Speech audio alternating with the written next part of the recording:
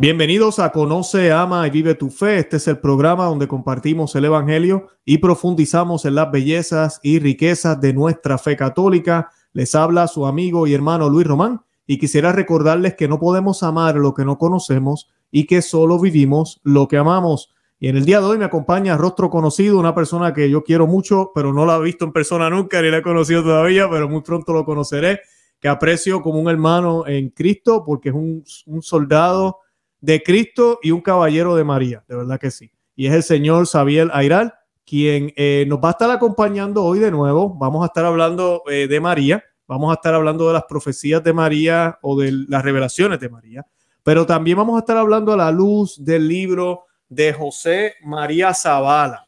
Eh, y vamos a estar hablando un poquitito de esto porque ha venido a, colación una duda por parte de, de, de, pues de una persona, no voy a decir nombre, pero yo sé que muchas personas tal vez tienen esta duda, que han leído el libro de José María Zavala, El secreto mejor guardado de Fátima, lo cual es un excelente libro. Ahorita vamos a hablar de eso también. Y pues en ese libro hay un manuscrito que no se sabía o había siempre esas dudas si eran de Sor Lucía. Se hizo un estudio, el señor Xavier nos va a dar más detalles ya mismito, y hay suficientes pruebas, como dice también el libro, de que es puño y letra de Sor Lucía y que posiblemente, o casi seguro, estamos hablando tal vez de que sea parte o gran parte de la parte del secreto, ¿verdad? O, la, tercera parte del secreto, porque es un solo secreto. Esa tercera parte que hemos hablado aquí, que el señor Xavier nos va a explicar a qué nos referimos, que nunca ha sido publicado, porque sé que muchos tal vez es la primera vez que ven un programa de, de, de, Fátima, de la Virgen de Fátima, y tal vez están pensando, pero es que la iglesia ya reveló todo eso. Bueno, pues vamos a hablar de eso ya mismito también, para que sepan bien qué fue lo que sucedió, qué fue lo que se publicó y qué es lo que falta y por qué pensamos que falta algo. Muchos mariólogos lo piensan así, hay muchísimos estudios de que hay información que no se nos ha dado, incluso a la luz de otras revelaciones de la Santísima Virgen María y de cosas que han dicho, incluido el Papa Benedicto XVI y otros cardenales, por los cuales sabemos que cuando se dijo lo que se dijo, faltó algo. Y no solo algo, faltó mucho. Y pues eso es lo que vamos a estar hablando en el día de hoy. Yo me callo la boca, como siempre digo, y quiero darle la bienvenida oficialmente al señor Xavier a ir una vez más al programa. ¿Cómo se encuentra, señor Xavier? Bienvenido. Um, buenas noches y eh, gracias por sus lindas palabras, Monami. Es un placer de estar aquí. Qué bueno. Para mí también, el señor Xavier, para los que no lo saben, él ha estado en mi programa varias veces. Yo estoy colocando en el en, el, en la descripción voy a colocar el enlace con el playlist, como dicen en inglés, con todos los programas que hemos grabado, la lista entera de los programas que hemos grabado ya con el señor Xavier. Eh, por si les interesa, hemos hablado de todo aquí con él, mayormente de las profecías de la Santísima Virgen María. Y pues eh, también es el autor de este, de este gran libro que se llama Revelations, que está a punto de salir en español. Y nosotros pues vamos a publicar el enlace, nos vamos a basar en el libro hoy también para poder discutir este tema que es de suma importancia porque el secreto de Fátima, Fátima no se ha terminado y ahorita mismo lo que estamos viviendo en la iglesia, esta gran apostasía, lo que está pasando en el mundo, todo este comunismo mundial que estamos viviendo, eh, todo lo predijo la Santísima Virgen en Fátima. Y pues nada, antes de comenzar yo quisiera pues eh, que encomendáramos el programa a la Santísima Virgen María, ¿verdad? Como siempre hacemos. Y pues lo vamos a hacer con un Ave María y esta oración la vamos a hacer in nomini Patris, et Filii, Spiritus Santi. Amén. Amén. Ave María, gracia plena, Dominus tecum, benedicta tui mulieribus, et benedictus frutus ventris, tui, Iesus. Santa Maria, Mater Dei, ora pro nobis peccatoribus, nunc et in hora mortis nostre. Amén. Amén. In nomini Patris, et Filii, et Spiritus Santi. Amén. Bendito sea el nombre de Jesús. Bueno, y pues comenzamos, señor Xavier. Eh, ¿Nos podía explicar brevemente para la audiencia, beneficio de la audiencia que tal vez nunca ha escuchado, a qué nos referimos cuando decimos que hay algo que no se publicó, que la iglesia no nos ha dicho todavía del secreto de Fátima? Sí. Este asunto que vamos a discutir esta noche um, es de primera gravedad. Uh, efectivamente, en 1943 uh, en el medio de la Segunda Guerra Mundial. El obispo de Fátima, eh, debido al hecho que eh, Lucía Sor, Lucía dos Santos, estaba reenferma en ese momento, se estaba preocupando que posiblemente iba a devolver el alma y no tener tiempo de escribir finalmente eh, los eh, términos del tercer secreto de Fátima, que hasta ese tiempo se había quedado exclusivamente un secreto guardado por eh, la hermana Lucía dos Santos. La hermana Lucía dos Santos tuvo unos problemas em, de escrúpulos. Algo le impedía de escribir efectivamente ese tercer secreto. No se sentía confortable hasta que finalmente Nuestra Señora le apareció y le dijo que sí, Dios le había dado finalmente la permisión y la instrucción de escribir ese tercer secreto de Fátima. Ahora, ese tercer secreto de Fátima es seguramente una de las piedras angulares de las profecías para el siglo XX y XXI.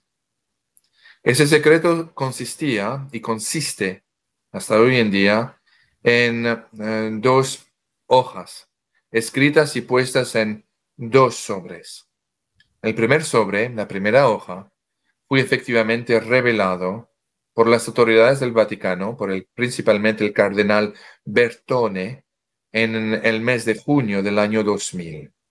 Eso es la famosa visión que todos hemos escuchado hablar. El Papa caminando con su cortejo encima de una colina, con una ciudad en fuego, casi destruida en, los, los, los atrás, con un cortejo de cardenales, obispos, religiosos, etc.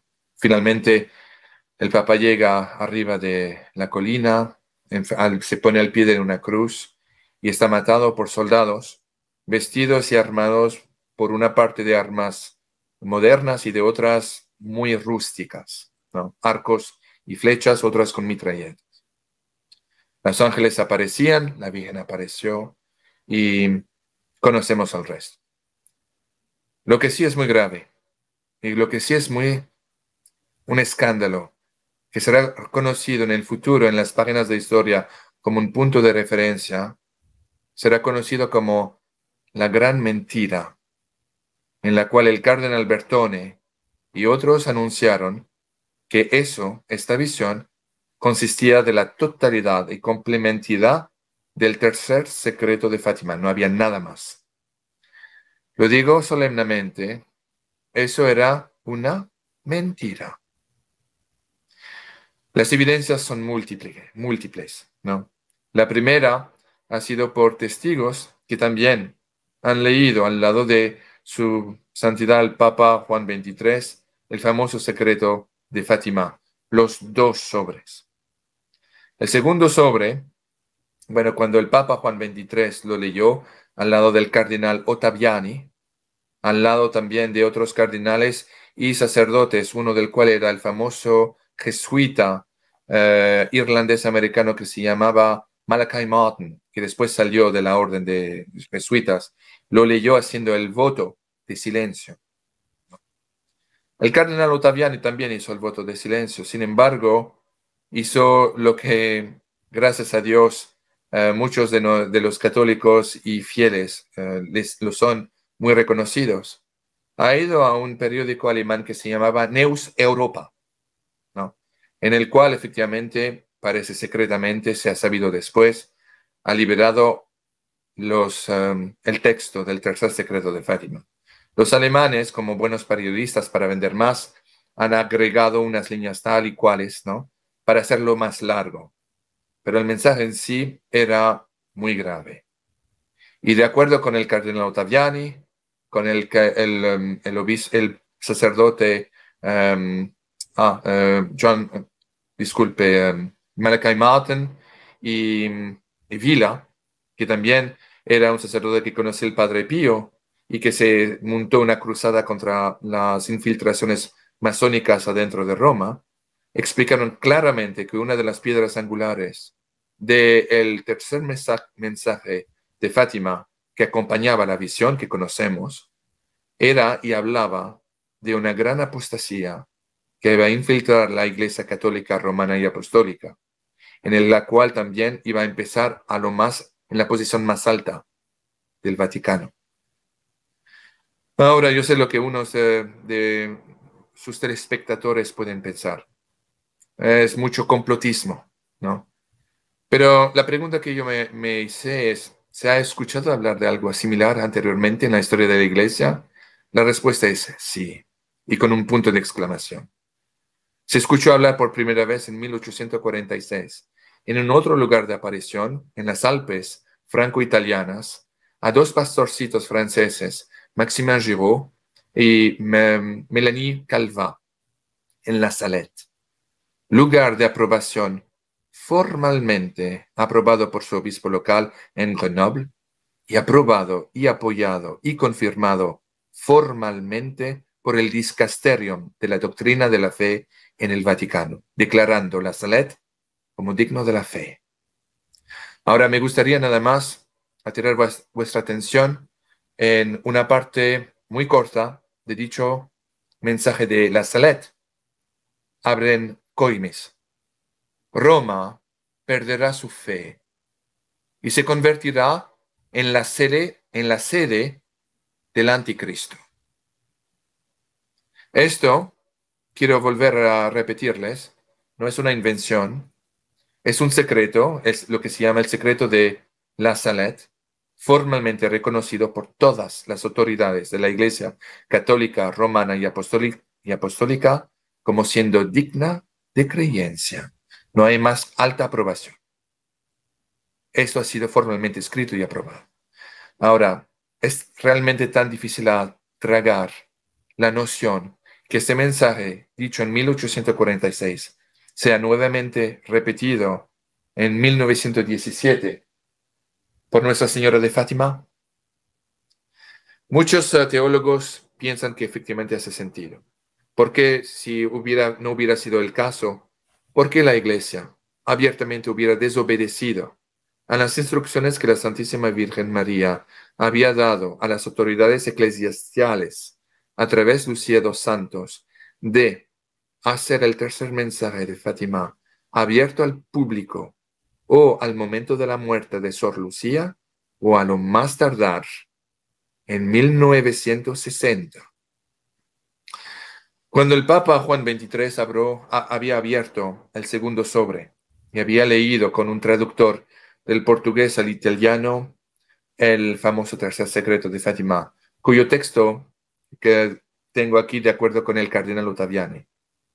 Parece de acuerdo con uh, los testigos que se volvió blanco, blanco, como una aspirina, como decimos en francés, y que de repente con miedo y temor volvió a poner el texto la página, la hoja, en el sobre, declarando en frente de sus uh, testigos, este mensaje no corresponde para nuestro tiempo. Ah, no, ¿verdad? Entonces sería que Dios uh, o el cielo se equivocó, o que tal vez el Papa Juan XXIII también era más sabio que Dios, que no podía posiblemente predicar lo que iba a ser la situación geopolítica en 1960. Realmente. Pero Juan XXIII no fue el único a desobedecer abiertamente y conscientemente. Sus sucesores hicieron igual. Paul VI hizo igual. Juan Pablo I reinó solamente 33 días. Eh, desapareció en circunstancias más que cuestionables. Su sucesor, Juan Pablo II, después eh, el atento a su vida, el 13 de mayo de 1981, eh, exigió de leer nuevamente, porque lo había hecho una vez antes, pero exigió de leer el segundo sobre nuevamente, ¿no? y quiso hacerlo público como la Virgen María lo había pedido.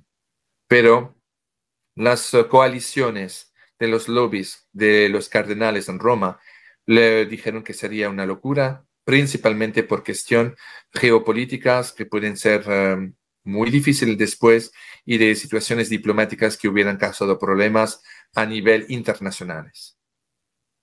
Esas fueron las, um, um, los pretextos que le han sido servidos y presentados al Papa para no presentar públicamente el tercer secreto de Fátima hasta el año 2000, cuando ya estaba terminando su reino. Y yo no conozco ahí las circunstancias si efectivamente pidió que solamente la primera mitad sea eh, puesta pública y no la segunda. No conozco las circunstancias, pero no me parece lógico que después de tantos años hubiera solamente expuesto una, parte que no tiene nada de peligroso ninguna, o que no da ninguna razón a ninguna autoridad eclesiastal de decir, ah, esa visión es tan escandalosa que la vamos a mantener secreta. No hace ningún sentido, no había nada que podía hacer miedo a la gente o pensar que no era, no era presentada para los tiempos en los cuales estamos viviendo. No hace ningún sentido. Por eso que con el apoyo, o mejor dicho, yo poniéndome atrás, eh, las declaraciones del de su eminencia, el cardenal Ottaviani, del padre Villa, de su, santidad, o de eh, padre Pío, del reverendo padre eh, Malakai Martin y tantos más. Yo digo y declaro que eso es una mentira premeditada y calculada. No hay perdón. No hay ninguna justificación por mentir. Entonces, la primera pregunta que uno se hace, ¿pero por qué? ¿Cuáles fueron los motivos de la iglesia de esconder este famoso tercer secreto de Fátima? Bueno, la respuesta es muy sencilla. Fue el la misma razón que hizo que después de la aparición de la Salette, que acabo de mencionar, en 1846, el 19 de septiembre, si no me equivoco, cuando la Virgen apareció y reveló el famoso secreto de Nazaret, una parte de la cual os acabo de leer. La Virgen acusó claramente el clérigo, lo clergé, la iglesia, las autoridades, no solamente de ese tiempo, pero de los tiempos a venir, porque predicó también la primera, la segunda y la tercera guerra mundial en la Salet. Y, y acusó, de la misma manera que la Nuestra Señora de Quito, en el siglo XVII, a la Sor María, lugar de aparición probada, acusó a la iglesia que iba a ser infiltrada por diferentes lobbies. En Quito, en los años 1600, aun cuando la masonería no existía, iba a, ser, a empezar a existir solamente en 1717, empezando en Inglaterra y en Escocia. Todavía no existía. La Virgen mencionó por nombre la masonería iba a infiltrar la Iglesia Católica a partir del siglo XX y que efectivamente a partir de ese momento, siguiendo adelante con las próximas apariciones aprobadas por la Iglesia, Roma iba a perder la fe y iba a volverse a ser la sede del anticristo. Palabras no mías, sino de la Santísima Virgen María a través de lugares de apariciones aprobadas. Por consiguiente, eh, en relación a lo de Fátima, Fátima ha sido escondido de manera a propósito. Sor Lucía ha sido ordenada de mantener silencio. De la misma manera, entre paréntesis, que la Sor uh, Agnes Sasagawa en Akita fue ordenada silencio también. Y ustedes van a entender por qué hago la relación. Yo sé que vamos en diferentes relaciones, direcciones, mejor dicho. La Salet, empezó en 1846, Fátima, 1917, y Akita, que empezó en 73 y fue aprobada en 1980. Akita fue la continuación y la revelación del tercer secreto de Fátima. Nuevamente, no son mis palabras ni un juicio ni un análisis. Son las mismas palabras, palabras del prefecto de la Congregación de la Doctrina de la Fe en 1980, el cardenal Ratzinger, futuro Papa Benedicto XVI. En 1980, el prefecto en el tiempo, el número dos de la iglesia, después Juan Pablo II, era el cardenal Ratzinger. Y fue él asignado a la posición más eh, alta y prestigiosa de Roma, la congregación de la doctrina de la fe. Y ustedes van a entender rápidamente este breve paréntesis. En el tiempo cuando las apariciones ocurrieron a la Sor Sagawa, japonesa, una estigmata sorda que después se curó, eh, la Virgen la curó milagrosamente había también una estatua de Nuestra Señora de todas las naciones, una advocación holandesa que unos años después, yo creo que fue en 1999, fue formalmente aprobada por su arzobispado. En ese momento, como todos los verdaderos lugares de aparición, eso es lo que el padre Lojoni Lojota, cuando yo trabajaba con él, me decía, cada verdadero lugar de aparición de la Virgen María va siempre a ser subjecta o víctima de un asalte, asalto se dice, perdóneme por mi pobre español. Asalto. de las fuerzas del mal. El asunto de Akita no fue ninguna excepción. La difamaron, difamaron las hermanas, difamaron el propio eh, obispo Ito, que estaba encargado del asunto, pero fui tan tocado, flegmático, perplejo al empiezo, prudente.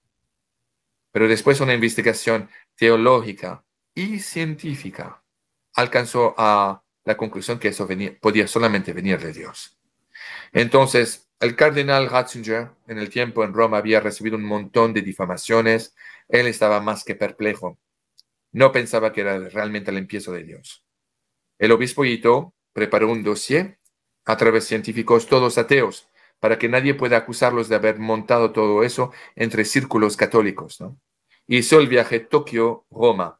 Llegó muerto de cansancio pero tomó un rendezvous con el cardenal y le habló de, le presentó el dossier que preparó, incluido el famoso mensaje, último mensaje de Akita, que fue increíblemente dado el aniversario de la última aparición de Fátima, el aniversario 56, el 13 de mayo 1973, en el cual yo les someto el mensaje hace los pelos de los brazos subirse, ¿no? Y se los voy a leer con la permisión del señor Román en un momento. Adelante, adelante. Algo que quería añadir, señor Xavier, por si acaso, una otra, otra evidencia de que falta algo eh, cuando leemos el secreto completo, ¿verdad? Que siempre se divide en tres partes, pero la Virgen le muestra a los niños en Fátima el, infierno. Y después que se lo muestra, ella coge y da, eh, ella, bueno, no, disculpa, ¿verdad? Sí, ella, ella coge y muestra, muestra cualquier visión, la guerra, ¿verdad? Que les muestra, le dice, va a haber una guerra peor si no se arrepienten. Después que ella muestra algo, les explica, muestra el infierno, vieron el infierno, son las almas de los pecadores, eh, bueno, y le dice, ¿verdad? Ella le dice algo. Y luego, según el Vaticano, muestra eh, esta imagen del Papa caminando con una ciudad destruida, es, es asesinado, pero no hay explicación. Y ahí donde, muchos, nos quedamos como, pero ¿qué pasó? La Virgen no nos explicó aquí, nos explicó las otras dos visiones, pero esta no se las explicó. Esa también es parte de las cosas que muchos nos preguntamos. Aquí como que falta algo. Eso es una observación muy lúcida, señor Román. Me hubiera gustado que hombres que se dicen teólogos hubieran llegado a la misma observación que usted hizo. Es muy lúcida, es exactamente lo que sucedió. Pero, y voy a regresar a ese punto, pero rápidamente termino con el asunto de Akita, pero es de primera importancia lo que usted acaba de decir. Pero lo de Akita, eh, el mensaje que fue dado el 13 de octubre, el cardenal dijo, bueno, eh, eh, excelencia, no vamos a seguir con esto, la investigación se termina aquí hoy. El obispo estaba alarmado y dijo, pero ¿por qué, cardenal? Su eminencia, usted no me ha escuchado hasta el final. Me dijo, no, usted no entiende. Le vamos a terminar esta investigación, hoy, porque a partir de hoy, Roma y la congregación va a decretar las apariciones de Akita como siendo um, worthy of belief, ¿cómo se dice eso en español? Eh, eh, valiosa, no, este, que se pueden creer. Eh, sí, digna de creencia. Digna, digna, eso, worthy. Digna de creencia. Y el cardenal fue sumamente sorprendido y dijo, Su eminencia, ¿qué le hizo cambiar de mente? Y el cardenal Ratzinger contestó, porque en efecto, este mensaje, el del 13 de octubre 1973, 56 años después, día por día, del el milagro del sol, la última aparición de la Virgen de Fátima, es en efecto el tercer secreto de Fátima. Se lo voy a leer en un, momento. Para volver a lo que usted acaba, su observación brillante, porque de verdad, me hubiera, como le digo, me hubiera gustado eh, conocer a gente que, a teólogos que, tienen la crítica tan fácil, llegar a la misma conclusión que usted. Efectivamente, con la, segunda, la primera aparición, que la, los primeros secretos, la Virgen dada un mensaje, una visión, siempre acompañada, como usted acaba de decirlo, de una explicación. Por, de acuerdo con el cardenal Bertone, la, el tercer secreto de Fátima hubiera sido la excepción y hubiera sido tan escandaloso, tan horrible, que merecía de ser escondida en 1960 y que volvió el Papa Juan XXIII blanco de miedo y diciendo, ah, eso no es para nuestro tiempo. Pero si eso prueba algo, es que el ridículo no mata. Es la única cosa que es, esta declaración ha probado. Gracias a Dios para el cardenal Bertone. Pero ese es un escándalo de haber mentido y de haber escondido al pueblo de Dios un mensaje que le estaba dirigido a través la organización fundida por Cristo a través de San Pedro. Es un escándalo. Por eso que la Virgen mencionó eso primero en la Salet, después en Fátima y nuevamente otra vez en Akita, entre otros lugares. Y Akita, muy similarmente como Fátima, la Sorsa Sagawa, aunque ha sido formalmente reconocido por su obispo local, el obispo Ito, y por la congregación de la doctrina de la fe a través del cardenal Ratzinger, los obispos locales desde Ito hasta hoy en día han dado la orden formal por instrucción de Roma, del Vaticano, de dar la instrucción a Sor Sasagawa, silencio total y completo. Silencio radio a los periodistas, a los fieles, a los escribantes. He tratado de comunicarme con ella.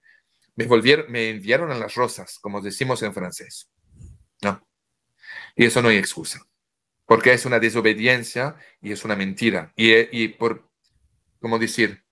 Em, por complicidad, haciendo y obedeciendo al culpable, uno se hace cómplice. Todos que han participado a eso, directamente o indirectamente, son culpables. Ahora, el famoso padre Malachi Martin dijo cuando fui entrevistado por em, Coast to Coast, ¿no? Y tengo aquí la parte en, cuestión, en la cual em, el periodista americano le estaba preguntando, bueno, padre, ¿por qué usted no, una vez por fin no nos revela? Usted ha visto, ha leído de alfa hasta omega todo el tercer secreto de Fátima. ¿Por qué en vista del escándalo que ha ocurrido usted no lo revela? Y me dijo, mire, eh, por una sencilla razón, es que yo he tomado un voto, me hicieron jurar bajo mi fe que yo no lo iba a traicionar. Esto dicho, si alguien me presenta el verdadero texto de Fátima, yo estoy obligado como sacerdote ¿no? Estoy obligado por mi conciencia de decir si esto es o no lo es. Entonces, si se lo voy a leer la parte, he hecho un montón de notas para esta noche. Pero había em, eh, el huésped de, de, Coast to Coast, estaba leyendo una parte de un señor que decía, yo he tenido una conversación con un jesuita en Perth, en Austria, en Australia. En el Pacífico. Y este jesuita me dijo que había leído efectivamente, era un asociado, un ayudante de uno de los cardenales que trabajaba en asociación con el cardenal Ottaviani. Y que efectivamente eh, parte del tercer secreto sería que el día llegará en el cual un papa eh, caerá bajo total control del, del anticristo, de, la, del, de Satanás. En ese momento siguió el hombre diciendo, nuestra conversación fue interrumpida porque alguien llegó y de allí no supí más. Entonces, el, eh, el host de Coast to Coast estaba preguntando al padre Malachi Martin, bueno, padre, eh, esta parte, ¿qué, ¿qué, dice usted de eso? Padre Malachi, y yo sé, lo escribí en mi libro y tenía los, escuche, los uh, earphones, ¿no? Pause, play, pause, escribiendo todo del inglés uh, y después, sin faltar nada. Y parecía sumamente inconfortable el padre Malachi. Y contestó, bueno, uh, Art, Art se llamaba, uh, tengo que decirle, después de reflexión, que efectivamente la persona que dijo eso, o bien ha leído el tercer secreto de Fátima, o ha escuchado a alguien que lo ha leído. Y Art Bell, el uh, host de Coast to Coast, dijo, oh my, oh Dios mío. Así se terminó la, la entrevista. El padre Malakai explicó claramente que parte del tercer secreto de Fátima sería que en la Santa Sede la, un pontífice, un futuro papa, será bajo el control del diablo, del enemigo. Ahora, yo sé lo que unos que tienen la crítica fácil pueden decir, ah, pero nuestro Señor Jesucristo ha dicho en la Biblia que esta iglesia fundida sobre Pedro, nunca los, los fuegos de la Hades alcanzarán ir encima o ganar encima de ellos. Y es verdad, pero la Iglesia católica romana y apostólica que el Cristo ha fundido sobre Peter, sobre Pedro, perdón, no es el Papa, gracias a Dios, ni los cardenales, somos nosotros. Es usted, señor Román, sus hijos, su bebé que está esperando, su esposa, soy yo, mis niños, la gente que están escuchando. Esa es la verdadera Iglesia católica y apostólica. ¿no? La iglesia hoy en día, eh, no, no, debemos ser ciegos, es sujeta hoy en día a una guerra civil en la cual una raya roja ha sido dibujada en el piso. No quiere decir bajo ningún punto de vista que debemos ser desobedientes o faltar de respeto a un papa que tal vez con el cual no estamos de acuerdo. No. Quiere decir que debemos rezar para él, porque hasta prueba del contrario, es hoy en día el vicario de Jesucristo en la tierra. Mire, yo sé que es muy difícil, les voy a admitir, sin ninguna falta de respeto al, al Papa, al cual me me quedo loyal, pero estoy en profundo, profundo desacuerdo con todas las teorías que el Papa ha declarado, ha escrito y eh, aún ha demostrado en sus acciones o falta de acciones, empezando con eh, el escándalo de la Pachamama. ¿no? Los anglosajones, ¿no? los eh, protestantes, yo conozco unos con los cuales yo estoy en negocio, eh, he, tenido una situación muy desagradable con un inglés, un inglés además, en el cual me dijo muy claramente, ah, ustedes los católicos siguen ese papa que ha comido el pecado de idolatría, permitiendo a paganos de adorar una falsa dehesa en tierras santas, en los jardines del Vaticano, qué vergüenza. Y vuestro papa se ha hecho a cómplice permitiendo eso con una sonrisa, muy, eh, muy paternal. Por supuesto, yo no iba a admitir a un non católico eh, que efectivamente el Papa había cometido idolatría. Eso bajo ningún punto de vista, ¿no? Pero la verdad es que en mi fuerte interior yo pensaba igual. Lo que sucedió no es tampoco sujeto a interpretación. Esos eh, anglosajones anglicanos, ya me dijo él, ahora llaman eh, Francisco, el Papa Francisco, el Pachapapa, lo que es, una sinvergüenzura. Claro, pero entiendo, porque eso era un error muy grave, que no se arrepiente además. Y además, ahora siendo europeo, le puedo decir, los euros están hechos los diferentes euros con cabezas políticas o históricas de cada país de la Unión. El Vaticano ha hecho eh, piezas con la Pachamama para además poner una, un poco más de honor a lo que es injustificable. Sin embargo, la guerra civil está en plena batalla hoy en día en la iglesia, una guerra no declarada, pero una guerra sin embargo. Y para los que no creen en el Papa, de acuerdo con las profecías, tenemos que seguir rezando para él, para su conversión, como dice mi buen amigo eh, John Henry Weston, su buen amigo también, señor Roma. ¿No? Ahora, para regresar al asunto de Fátima. Eh, efectivamente, le voy si usted me permite, empezar a leerles unos documentos que he puesto en el libro y que confirma el, famoso libro del señor Zavala, ¿no? Primero, usted estaba hablando de, hace un momento del segundo secreto de Fátima, ¿verdad, señor Román? Correcto. Em, aquí eh, se le voy a leer lo que sucedió, con su permisión. Ah, pues, y perdóneme por mis gafas, ¿o no?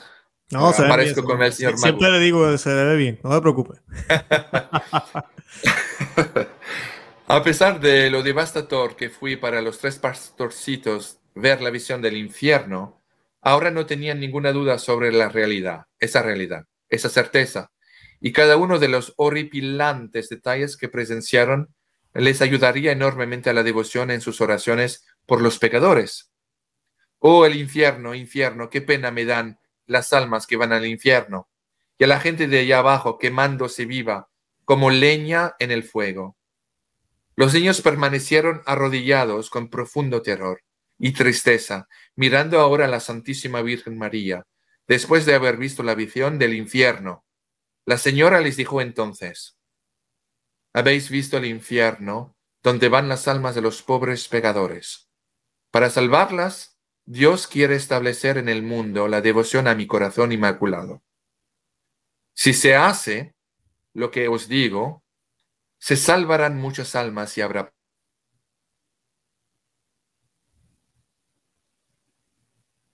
ofender a Dios, perdón. Estallará otra peor durante el pontificado de Pío XI. Cuando veáis una noche iluminada por una luz desconocida, Sabed que es la gran señal que os ha dado Dios de que va a castigar al mundo por sus crímenes mediante la guerra, el hambre y las persecuciones a la Iglesia y al Santo Padre.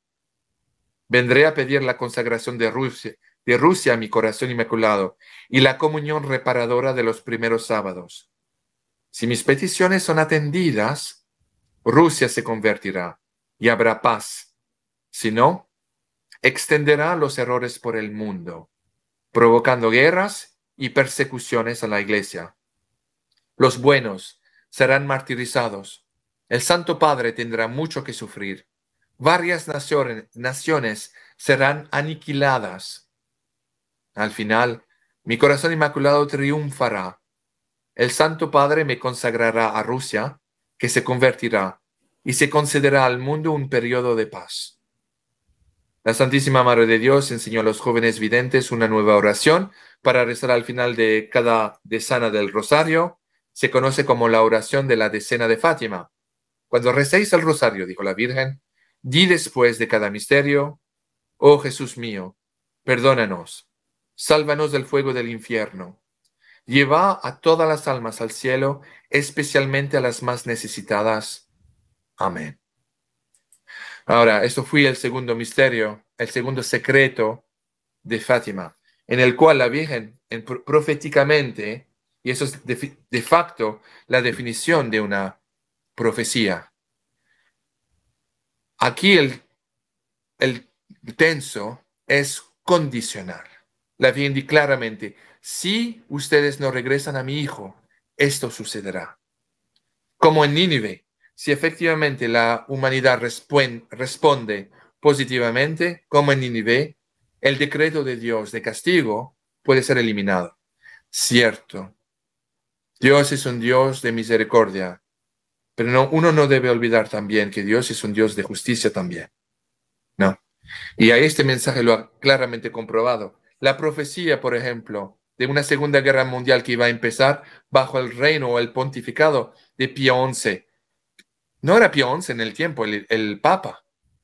Pío XI fue elegido exactamente eh, en, en el momento en el cual la guerra civil en España empezó. Y la guerra civil en España era la primera vez cuando las fuerzas alemanas de la Wehrmacht estaban peleándose abiertamente contra las alianzas de Francia, Inglaterra y los Estados Unidos en territorio español. La Wehrmacht estaba peleando al lado de Franco y los otros, los europeos y los norteamericanos al lado de los comunistas. ¿no? Pero ahí empezó la guerra, donde de ahí después, en 39, cuando eh, Pío XI finalmente murió, fue justamente cuando Polonia fue invadida por Adolf Hitler, el 3 de septiembre del año, perdón, primero de septiembre 1939. El 3 de septiembre fue dos días después cuando Francia e Inglaterra declararon la guerra a Alemania por la invasión de Polonia la profecía ocurrió a la letra. ¿no? Y bueno, eso dio primero mucha beligerencia a las apariciones. ¿Cuál fue el tercer secreto de Fátima? Os lo, se los voy a revelar de acuerdo a la revelación que el cardenal Ottaviani ha hecho a el periódico alemán Neos Europa, en el cual dice lo siguiente. el primer sobre tenía que ver con la visión. Señor Román, ¿quiere usted que yo lea la, descripción de el tercer secreto en visión y después el mensaje? ¿O vamos directamente al mensaje? Yo creo que podemos ir al mensaje porque ya mencionamos la visión y ya la hemos dicho otras veces. Yo creo que todo el mundo está familiarizado. La, visión de la montaña, el Papa caminando, que es asesinado. Eh, creo que ¿verdad? Podemos, podemos ir directo al mensaje. Vale. Entonces empieza así. En Portugal, el dogma de la fe será siempre preservado. Un gran castigo caerá sobre todo el género humano, no hoy todavía, ni mañana, sino en la segunda mitad del siglo XX. Ya no reinará el orden en ninguna parte, y Satanás reinará sobre los lugares más altos, dirigiendo los cursos de los acontecimientos. Él, Satanás, logrará infiltrarse en la cima de la iglesia. También para la iglesia vendrá un tiempo de sus mayores pruebas. Los cardenales se opondrán a los cardenales. Los obispos se opondrán a los obispos. Y Satanás marchará en medio de sus filas. Y en Roma habrá cambios. Lo que está podrido caerá, y lo que caerá no volverá a levantarse. La iglesia se oscurecerá y el mundo se trastornará por el terror. Una gran guerra estallará en la segunda mitad del siglo XX. El fuego y el humo caerán del cielo. Las aguas de los océanos se convertirán en vapor, lanzando su espuma hacia el cielo, hundiendo todo. Millones y millones de hombres perderán la vida de una hora a la otra, y los que queden vivos envidiarán a los muertos. La, muerta, la muerte reinará en todas partes por los errores cometidos por los insensatos y por los partidores de Satanás, que, entonces y solo entonces, reinarán sobre el mundo. Por fin, los que sobrevivan a todos estos acontecimientos volverán a proclamar a Dios y su gloria y le servirán como antes, cuando el mundo aún no se había corrompido. Ve, hija mía, y proclama esto. Yo permaneceré siempre a tu lado para ayudarte. Esto, de acuerdo a el cardenal Ottaviani, fue parte integrante o total del tercer secreto de Fátima. Ahora, yo sé lo que uh, unos pueden pensar, porque yo lo pensé también. En esta parte dice, una gran guerra estallará en la segunda mitad del siglo XX. Os quiero decir lo siguiente relativo a este pasaje, que puede sacar, tal vez unos pueden pensar, credibilidad. En uh, La Salette, lugar nuevamente, lo vuelvo a repetir, aprobado por la Iglesia, Obispo y Roma, Máxima Giraud explicó en una carta que escribió directamente al Papa que efectivamente la Virgen dijo que estas profecías iban a tomar lugar, pero dependiente de la manera como la humanidad iba a responder, podía hacerse durante el siglo XX o durante el primer cuarto del siglo XXI. Esto está escrito blanco con negro. Y entre paréntesis, una breve paréntesis nuevamente. El famoso secreto de la Salet, la el famoso, eh, la revelación que os acabo de decir, ha sido también increíblemente escondida por el obispo de Grenoble y enviada en una caja de acero en Roma, en la, en la librería, las profundidades de la librería del Vaticano. Ha sido descubierta solamente en 1999 por el abate Cortville, que era increíblemente el asistente del padre René Laurentin. Y después de haber obtenido imprimatur del cardenal Ratzinger, la publicaron y era, eh, se escribía el secreto de, de la Salette nuevamente descubierto, era la lectura favorita del Papa eh, Juan Pablo II, de acuerdo a lo que, nos lo que dijo el cardenal Ratzinger. Eso también fue escondido por la iglesia, porque porque el mensaje de la Salette, tanto como el mensaje de Fátima, es totalmente inconveniente para la jerarquía de Roma, para la Iglesia Católica. ¿Y por qué la Iglesia Católica eh, está siendo acusada de tantas cosas? Hay que ser ciego hoy en día, me parece, o no nunca mirar la televisión para darse cuenta de lo que está sucediendo en Roma. Hoy en día todo el mundo sabe, todos los lobbies de un nuevo movimiento de progresismo que se ha infiltrado en Roma. Los LGBTQ, ¿no? El movimiento homosexual, nuevos cardenales puestos en posiciones em, angulares, como por ejemplo el, en el dicasterio, en la congregación de la doctrina de la fe. Ha habido muchas historias y escándalos con este cardenal por razones que no, por las cuales no vamos a entrar, pero ha habido serios problemas.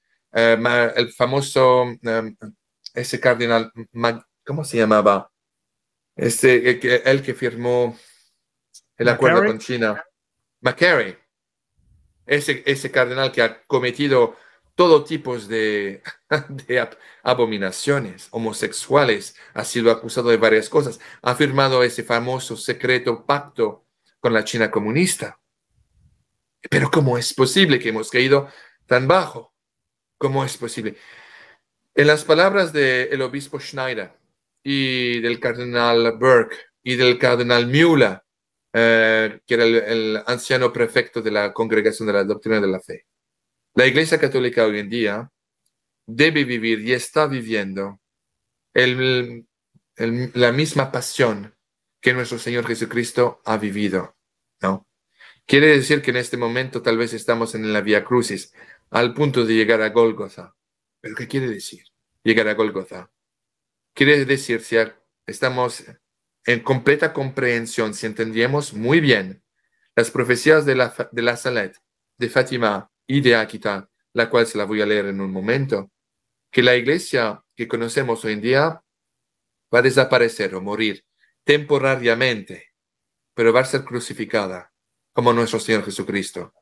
Va a ser enterrada, pero va a resucitar. Amén. Esto va a ser el gran triunfo del corazón inmaculado de María. Pero para que haya una resurrección se debe haber una crucifixión. Y yo creo que estamos viviendo, todos los que son de buena fe, estamos todos testigos de lo que está pasando más y más y más cada día en Roma. Pero es muy, es de primera importancia de no caer en la trampa que nos está siendo expuesta. El odio, no. La condenación, no. La oración, la misericordia. Amar a nuestros enemigos y rezar por su conversión empezando con el, eh, nuestro Papa. Siguiendo adelante con el asunto de Fátima, que le estamos hablando. Eh, la Virgen habló de la devoción de los cinco primeros sábados del, eh, de, cinco meses enseguida. Eso es parte de piedra angular de salvación. La Virgen en Fátima, como en otros lugares de aparición, implora a sus hijos de convertirse principalmente a través de las santas lecturas y vivir las santas lecturas, los evangelios, vivirlos, aprenderlos, leerlos y de ir a las y de utilizar los sacramentos de la Iglesia Católica Romana y Apostólica, principalmente la confesión y la Santa Comunión, dignamente preparados.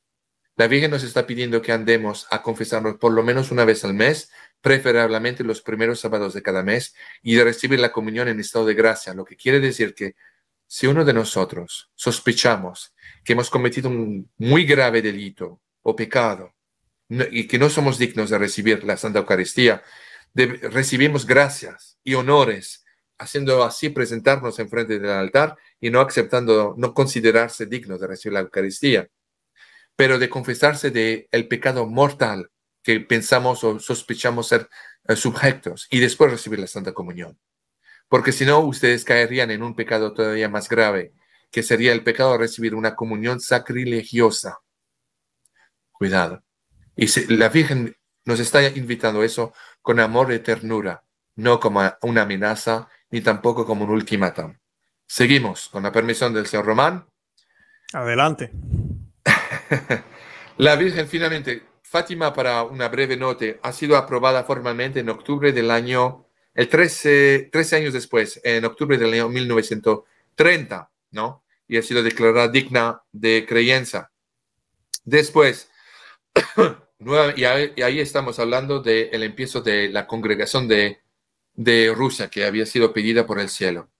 En mayo del 1936, la hermana Lucía, durante una otra aparición de nuestro Señor Jesucristo, se escuchó decir que por qué que, nuestro Señor quería convertir a Rusia sin que el Santo Padre, ah, no, que, perdón, discúlpeme.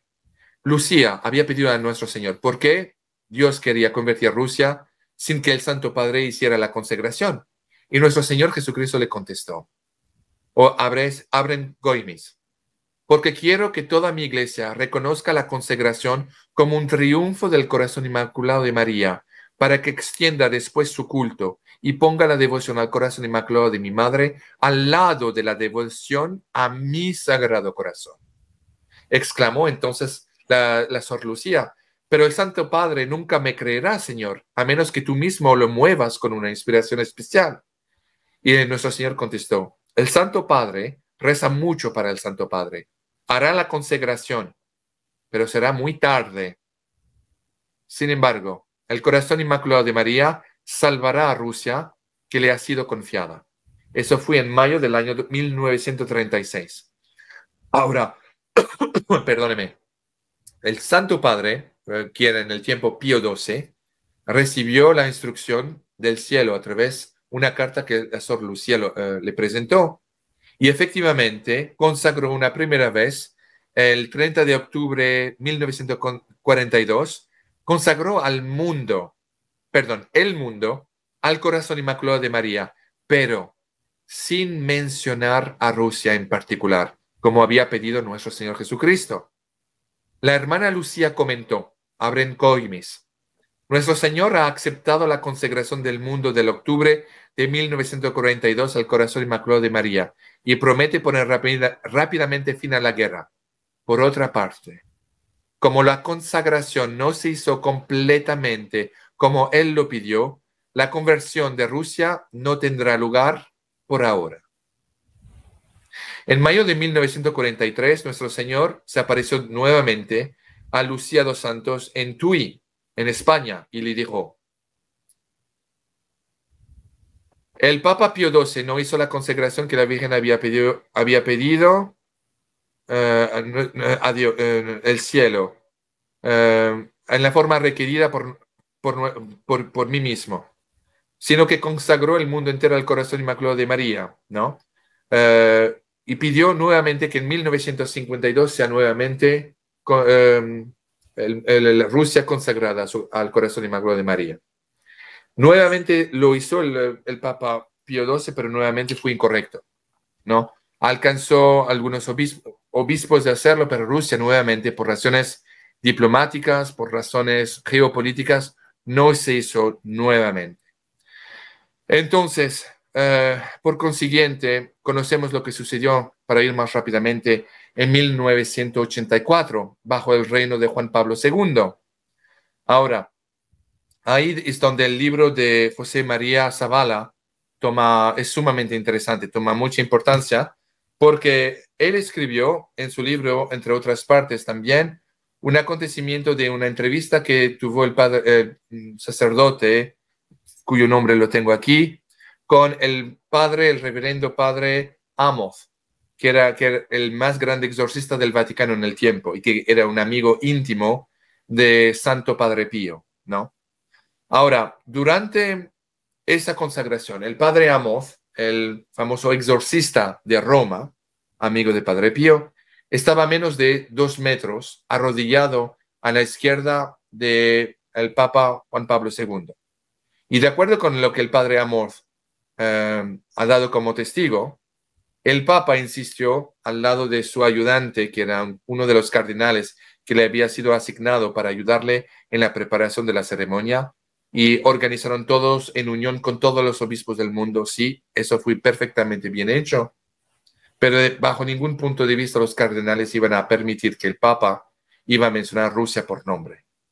Y efectivamente, en 1984, el Papa no lo hizo como se lo había sido pedido, por la instrucción del cielo.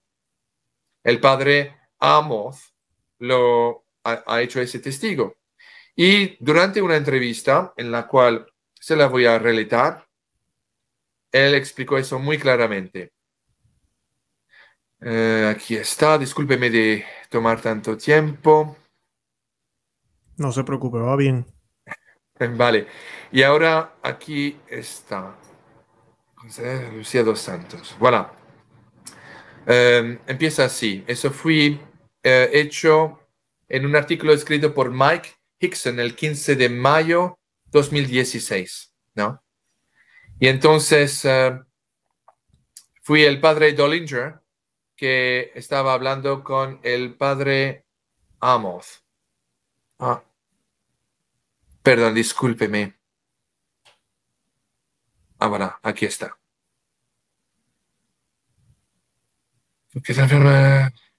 Ahora, entonces eso era entre Zavala y el famoso escritor de este libro, El mejor secreto guardado de Fátima, y el padre Amos, el exorcista de Roma. Zavala insistió en la cuestión con el padre Amos, diciendo que la propia hermana Lucía, como se ha mencionado anteriormente, había dicho que el cielo había aceptado la consagración del Papa Juan Pablo II en 1984. Describe una reacción incrédula del padre Amos. Recuérdese, padre Amos, que estaba arrodillado al lado del, del Papa Juan Pablo II. El padre Amos contestó, ¿Lucía dijo eso? Respuesta, bueno, lo dijo, continúa Zavala, El cardenal Tarciso Bertone, en el año 2000, escudándose en una carta de Lucía fechada en noviembre de 1989, en la que afirmaba que el cielo había admitido la consagración a pesar de una de las condiciones más importantes. El padre Amboz. ¿Ha visto usted esa carta? me preguntó, como si, tuviera, como si estuviera realizando un interrogatorio político en busca de pruebas. Nunca, yo contesté. Padre Amboz. No creo que la vea nunca, porque estoy convencido de que Lucía no la escribió. ¿Cómo está tan seguro de eso usted? Respondió Amos, porque Bertone no la mostró cuando debía hacerlo, cuando anunció el tercer secreto de Fátima. Una simple fotocopia del manuscrito, incluida en el dossier oficial del Vaticano, habría sido suficiente para disipar cualquier duda. Si el Vaticano ha sido siempre escrupuloso en proporcionar las pruebas documentales que autentificaban las informaciones de Lucía sobre asuntos menores. ¿Qué razón tendría para escatimar la única prueba documental que, según Bertone, validaba un hecho que sin duda era de tanta importancia como la consagración realizada por Juan Pablo II? Sí, es raro, admití yo. Una breve paréntesis. ¿Por qué? Y os pido, os hago la pregunta, ¿por qué la consagración que pidió el cielo, primero a través de la Virgen, no ha sido aceptada cuando el Papa Pío XII la hizo dos veces sin mencionar Rusia, y como por milagro ahora lo acepta cuando no fue mencionada Rusia tampoco en 84, pero en este caso supuestamente lo aceptó. Nuevamente, no hace sentido. Sigo. El padre Amos sigue diciendo, ¿de verdad crees que Lucía tardó cinco años en escribir que la consagración había sido realmente aceptada y que Bertone esperó nada menos que 16 años para anunciar la validez de algo tan crucial como la consagración de Rusia al corazón inmaculado de María? La voz del padre Amor suena escéptica, como hojas secas. Él, yo contesté, es todo muy extraño, la verdad, Zavala vuelve a sentir. Sigue el Padre Amor. Además, añade, si la consagración del mundo al Inmaculado Corazón de María, hecha por Pío XII en 1942, fue aceptada solo parcialmente, pues Jesús dijo que en vista de ello, la guerra solo se acortaría en lugar de terminar inmediatamente.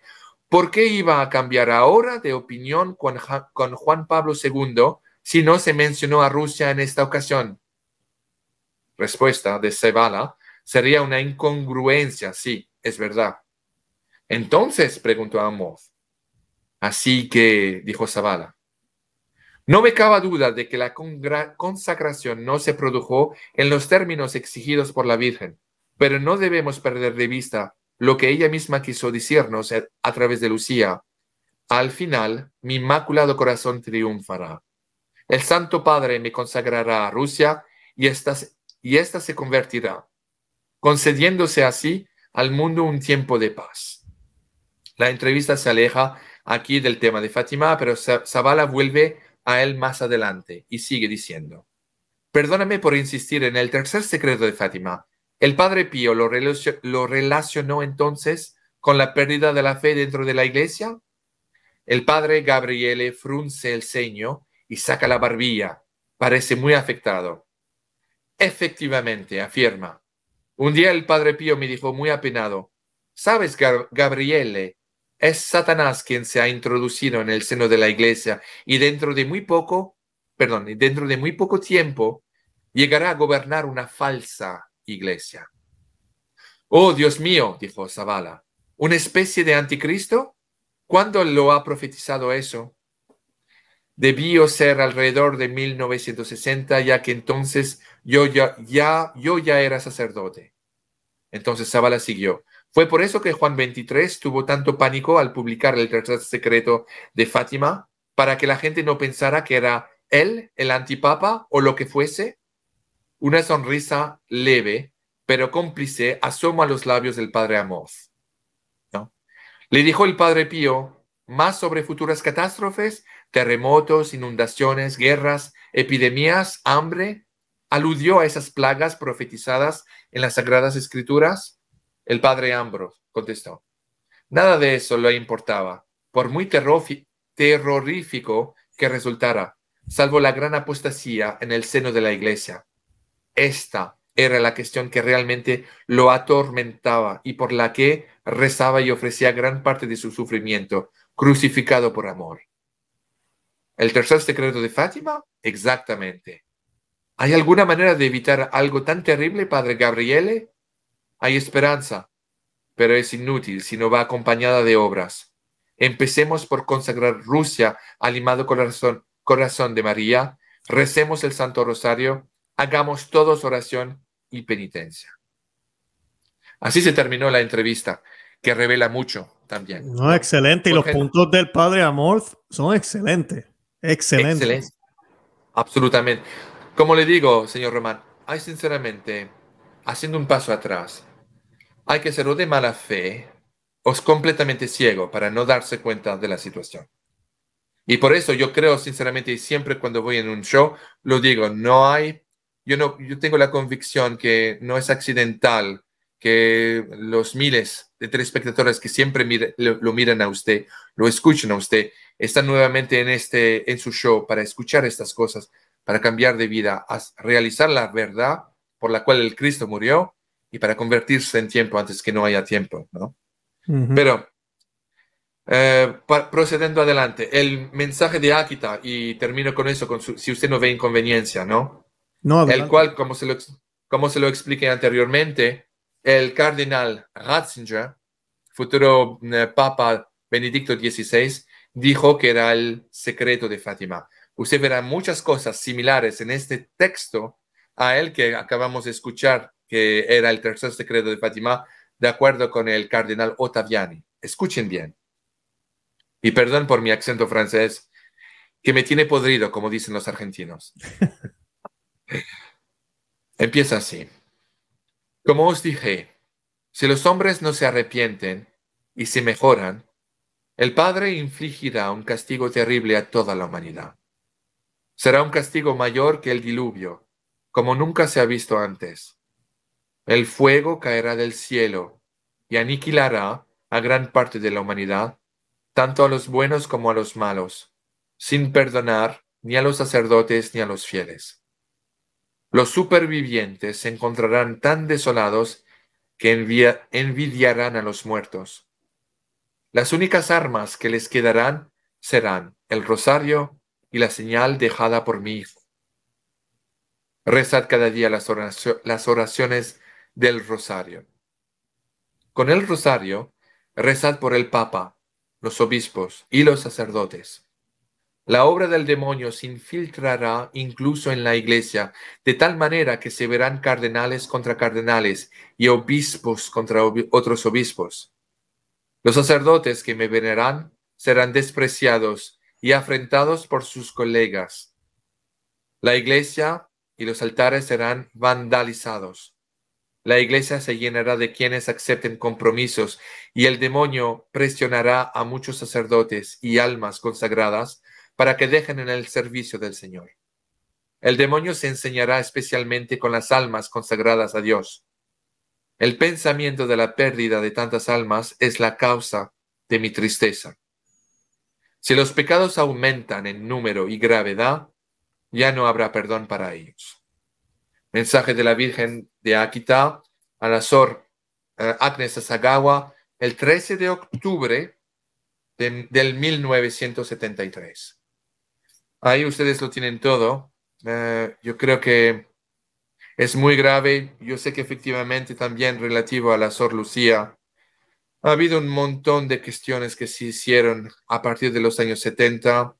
Si efectivamente la Sor Lucía, que aparecía tan diferente de carácter, aún físicamente, tan diferente de lo que parecía en los años 40, 50 y 60, si efectivamente era la verdadera Sor Lucía porque siempre sonriendo, nunca volviendo al ataque con el mismo mensaje, la misma admonición del cielo con la cual ella estaba consumida, traer a cumplir los deberes que la Virgen le ha dado o que el cielo le ha dado a través de la Virgen. Yo hoy en día, en total honestidad, aunque no soy el padre Lota en, ninguna forma directa o indirecta, pero yo sé que hablé eh, unas, un par de veces con él sobre el asunto.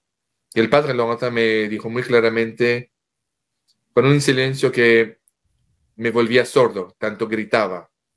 Me decía, no, no sé, no estoy seguro. En vez de decirme, Javier, es una absurdidad, por supuesto que es la Sor Lucía. Él tenía sus dudas. Yo a mis 54 eh, años hoy en día, en retrospectiva, soy forzado a hacerme preguntas también. ¿no? En, vista de lo que la iglesia ha sido capaz de hacer y de no hacer, su desobediencia, su traición, yo creo que es capaz también de haber cometido eso. Por eso tenemos que, como la Virgen nos los pidió, rezar para todas esas almas que han caído víctimas de, la, de los mirajes que Satanás les han puesto en, en su camino. Y más que todo, y antes que todo, seguir siendo fiel al barco que es la Iglesia Católica. No debemos salir del barco, debemos hacer los malignos salir ellos del barco y mantenernos fiel a la, a la iglesia, la única iglesia cristiana que ha sido fundida por el Cristo, la iglesia fundida a través la piedra que era Pedro, ¿no? Y ponerse, ponernos al pie de la cruz, obedeciendo y convirtiéndonos de la manera como la Virgen nos los pidió. Les pido perdón, he hablado tanto. No, eh, perfecto. Pero tengo una cosita más, señor Xavier. Del libro del señor Zavala, yendo para atrás, ese manuscrito, ¿qué nos puede decir de eso también? Porque el libro tiene un manuscrito que llega a manos de él es, de una manera misteriosa según los medios eh, o el libro, y pues que ellos hacen un estudio y aparentemente hay bastante certeza de que es puño y letra de Sor Lucía. Efectivamente, muy excelente punto, señor Román. Eh, esa, la, la escritura de el mensaje del tercer secreto que ha sido abiertamente descubierto, ¿no? Efectivamente ha sido confirmado como siendo realmente veniendo, proveniendo de la mano de Sor Lucía dos Santos. Recuérdense que esto secreto, el tercer secreto de Fátima ha sido escrito por requisito del arzobispo de Fátima en 1943. Ahí no había duda que la Sor Lucía era la Sor Lucía.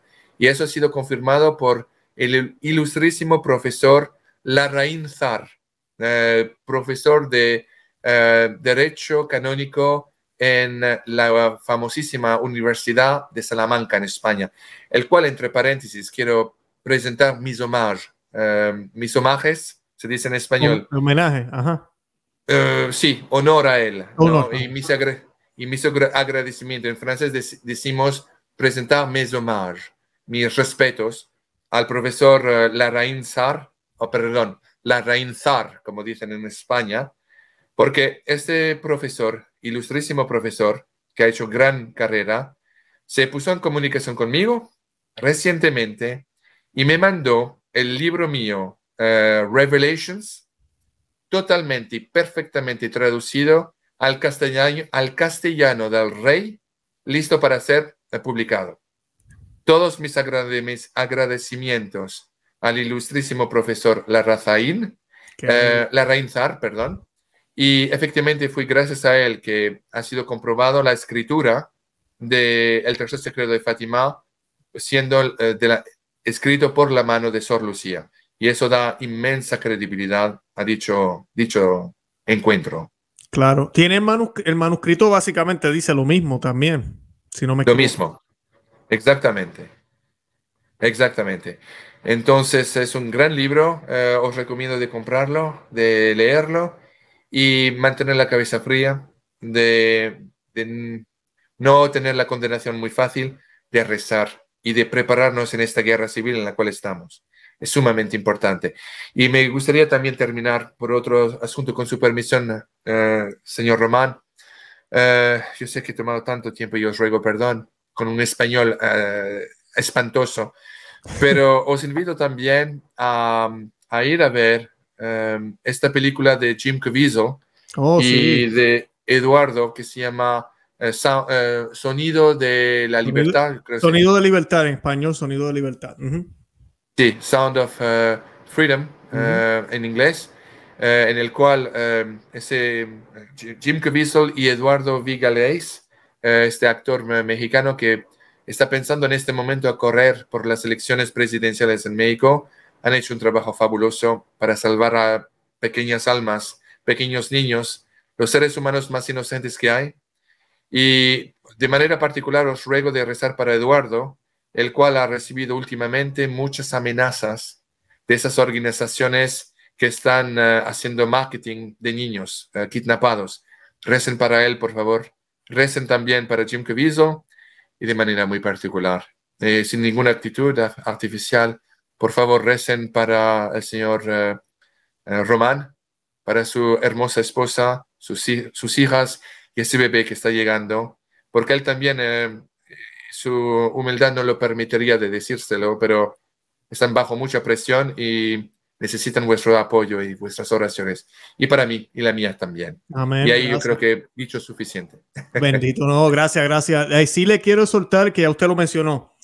Eh, lo, yo lo decía los otros días en un programa que estuvimos haciendo con el señor eh, César Félix Sánchez sobre el nuevo eh, perfecto para el dicasterio de la doctrina de la fe. Hablábamos de que la idea de estos programas no es alarmar, no es ponernos tristes. Al contrario, si todavía, porque lamentablemente somos tan malos y somos humanos y somos tan débiles, que ni leyendo el Evangelio nos convence cambiar nuestras vidas, a veces toca mirar para el otro lado y ver cuántas cosas están sucediendo malas por culpa del pecado del hombre, que a la misma vez la providencia de Dios utiliza para jalarnos las orejas. Y a veces tal vez mirando eso, viendo la crisis que hay dentro de la iglesia, viendo todo lo que está pasando, las traiciones, las mentiras, los abusos, terminamos nosotros dándonos cuenta de que tenemos que cambiar, que nuestra vida tiene que cambiar porque mañana no sabemos si vamos a estar aquí, no sabemos si vamos a tener otra oportunidad. Lo vivimos durante la crisis de salud, no sabemos si las iglesias van a estar abiertas, no sabemos si vamos a tener misa, no sabemos si vamos a tener sacramentos una vez más. Que vivamos una vida sacramental, que el Señor Xavier ya lo mencionó una vida dentro de la iglesia católica, porque los, los sacramentos operan por ellos mismos, por Cristo mismo. Así que, independientemente de la corrupción que haya en las altas jerarquías, todavía, gracias a Dios, y siempre lo habrán, hay muchísimos buenos sacerdotes en la iglesia católica. Hay buenos obispos también en la iglesia católica. Por eso las profecías dicen obispo contra obispo, sacerdote contra sacerdote. ¿Qué está hablando esto? Bueno, sacerdotes que unos predican la sana doctrina y otros predican el modernismo y tenemos la, falsa iglesia tratando de opacar a la verdadera iglesia, pero la verdadera iglesia siempre va a estar ahí. Pero si estamos en gracia, estamos viviendo nuestra vida como debe ser, siempre el Señor nos va a dar el pan de cada día. Eso que siempre le pedimos a Dios en el Padre nuestro. Siempre nos va a dar el pan de cada día. Así que no nos olvidemos de eso. Esa es la idea de estos programas, de que nos motive a cambiar, a darnos cuenta de que se nos acaba el tiempo, se nos acaban los minutos, se nos acaban los segundos, se acabó el juego Estamos en batalla y tenemos que estar listos para la misma. Señor Xavier, gracias un millón por haber estado conmigo hoy. Yo quiero una vez más pedirle a la audiencia que busquen este libro. Ya el señor Xavier reveló, reveló que va a estar el Revelation en español muy pronto. Eh, si Dios lo permite, aquí vamos a dar la premier, si Dios lo permite, vamos a hablar de eso aquí eh, un día de esto. Este libro es espectacular, de verdad que sí. Espectacular, es tremendo. Yo diría resumen, pero a la misma vez también explicación muy buena de, los mensajes de la Santísima Virgen, de, bueno, de muchísimas cosas. Y como usted mencionaba hoy, y yo sé que lo mencionó en uno de mis programas, eh, a veces decimos los mensajes de, la Virgen, los mensajes, realmente es un solo mensaje. Sea, arrepiéndanse, conviértanse. Está en la Biblia, usted lo ha dicho muchísimas veces. Hagan lo que Él les pide, hagan lo que Él les diga. Ese siempre ha sido el mensaje de nuestra Madre, la Santísima Virgen María. Claro que en las profecías y en los mensajes está aplicado a nuestro tiempo actual. Pero ese es el mensaje, así que no se olviden de eso. Y pues nada, vayan y busquen este libro. Voy a compartir el enlace en la descripción del programa. Apoyen al señor Xavier Adiral. Necesitamos más hombres como él que nos sigan dando luz en estos tiempos de oscuridad. Señor Xavier, gracias una vez más. Si quiere añadir algo, si no, nos despedimos. No, nada más eh, recen para el eh, señor Luis Román. Merci beaucoup. Ruego vuestra indulgencia por mi pobre español. Yo sé que es difícil escuchar este español de cocina, pero gracias y recen por mí y por mi familia, por favor. No, ese español de cocina, como dice usted, se entiende muy bien y se oye muy bien. Igualmente le pido las oraciones por el señor Xavier, por su familia también y por todo lo que hace, porque los ataques, también hay ataques de hombres, pero esos son los, los menos que nos preocupan. Ni yo sé que a él no le preocupa tanto y a mí tampoco. Los más que nos preocupan son los espirituales, ataques espirituales, que no le llegue la pereza, que no venga la depresión, que no venga la, la, la, dejadez, las ganas de no hacer esto más, eh, esos desiertos que a veces el mismo Dios permite que sucedan, que podamos levantarnos y poder seguir siempre mirando hacia la cruz, que ese es el camino eh, que nos lleva al cielo. Y nada, señor Xavier, gracias una vez más. Con eso nos despedimos. De verdad que los amamos en el amor de Cristo. Y Santa María, ora pro nobis. Santa María, ruega por nosotros. Que Dios me los bendiga. Bye bye.